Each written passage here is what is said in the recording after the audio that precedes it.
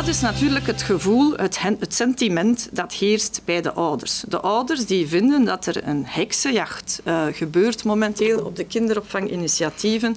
En zij zijn dat stilaan moe.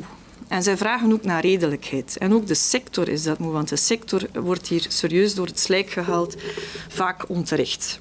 Ik wil u toch meegeven dat iedereen, ook mensen die op een kabinet werken, een professioneel verleden hebben. Niemand komt uit een doos. Eh, niemand komt zo out of the blue, uh, nooit de wereld gezien. Iedereen komt van ergens.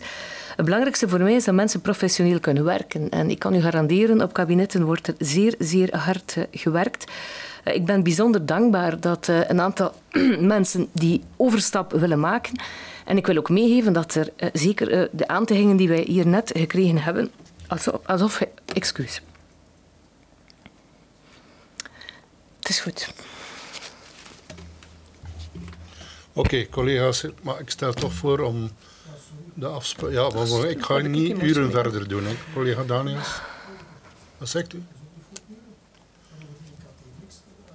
Ja, ja, ik weet het wel, maar bedoel, als we, nu nog, als we nu nog een rondje doen uh, na zeven uur, uh, je ziet nu al tot wat het allemaal leidt. Uh, Vergeet niet, de sector heeft al heel veel tranen gelaten en de tranen die vloeien nog veelvuldig. Dus ik kan alleen maar zeggen dat departement welzijn al al die jaren mismeesterd is geweest. En geloof mij, had het binnen een andere partij geweest, het had misschien ook zo gegaan. Of jullie hadden misschien ook intern al die mensen bij elkaar gezocht. Dus ik smijt niet met stenen, ik beperk mij gewoon tot de feiten zoals ze nu zijn. Niemand komt inderdaad uit een kartonnen doos, dat is inderdaad zo. Maar het is aan jullie om aan te tonen dat ik hier niet de waarheid heb gesproken. En dat heb ik niet gehoord.